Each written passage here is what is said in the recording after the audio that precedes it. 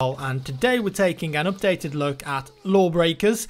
This will probably be my last E3 video. I played a lot of new games over there in LA and I've been posting videos on them all week. If you missed any, go check them out. BF1 obviously and a lot of Ubisoft games, Titanfall 2, For Honor, that really surprised me how good it was. It was a super busy week for me but it's very cool to be able to play all of these games early and create content on them so I hope you've been enjoying my coverage of the show there. So then, today, Lawbreakers. This was a behind closed door session on a new game mode called Turf War. It's basically a mix of domination and team deathmatch with a little twist on it. You've got three capture points, A, B and C, but they aren't always available to capture and once they've been captured they've got a cooldown before they can be reset and captured again if that makes sense. So you've got this very back and forth gameplay interspliced with team deathmatch with the purpose of you attempting to lock down an area and gain dominance of it just before the capture zone unlocks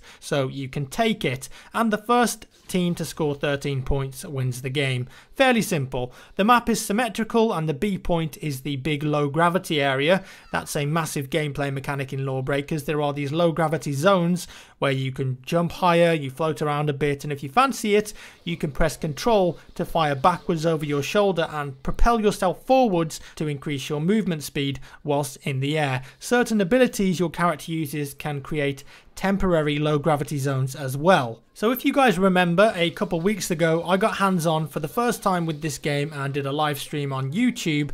Literally the first time I'd played it with some basic impressions and that was on a different game mode called Overcharge where you've got a battery to contend and you take it back to your base. If you grab it it charges up and when it gets to 100% boom your team is going to score a point. I think this domination style game mode you're seeing here though works way better than that one in Lawbreakers. I just found it a lot more fun and I felt that it flowed a lot better for the style of game that this is.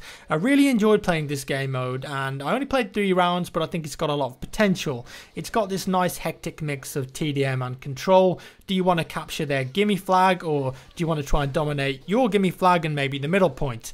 On the flip side though, the problem for me with the battery game mode, Overcharge, that's the other one, is that both teams share the same charge. So one team can dominate the game for 90% of it, and then the other team can come in at the last second, steal the battery, take it back to their base and score a point. And I think that's fundamentally broken because you get this situation where one team can just save up their ultimates, storm the base at the last second, steal the battery and therefore an easy point even though they've only controlled the battery for a very small portion of the game. I understand that it paves the way for clutch turnaround underdog moments but in terms of creating a balanced esports arena game where people don't feel cheated I'm not so sure that it works that well. Instead, a suggestion that I'd implement is that if the battery is in your base, your base charges up and each team has a separate base charge that only builds up when you've got the battery in your base. If it reaches 100% there's a 30 second countdown in which the enemy still has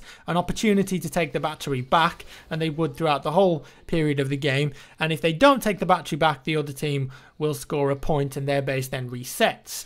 A system like that is way more balanced in my opinion and it could still offer those clutch moments that make the game exciting. Imagine both teams bases are at like 95% and they're fighting over to get the battery in their base for just a short period of time so they can win the game. I think that would be pretty fun. I actually spoke to Cliff Bleszinski and Arjan Brussee at the event. Lovely guys, two of the leading devs on the game, just chatting about their goals for Lawbreakers, some technical stuff too. They've got this game running at a really high tick rate, which is of course very important. All the check boxes are ticked. And they've said that they're already talking about making some changes to the game based on feedback. So for example, in this game there's health stations. Lots of people who've played the game think that these break up the pace a bit too much and would prefer health packs that respawn kind of scattered around the level instead. Something a bit more traditional maybe. And Cliff had the idea that say you manage to kill someone they'll drop a small health pickup that you can take. So if you kill three or four people going on a tear you can gain a bunch of health back really quickly and you wouldn't have to worry about falling back to a health station. I'd prefer that I think, rewarding players who go for kills keep the momentum of the game flowing forward and progressive rather than making someone retreat. If I could give any feedback, I'm 100% convinced that the base movement speed is too slow in this game. This is a skill-based arena shooter and on all of the characters, if you're not in a low grav zone and you don't have any abilities to use, the movement speed is painfully slow and you get these little moments of boredom as you trot along to the next capture point.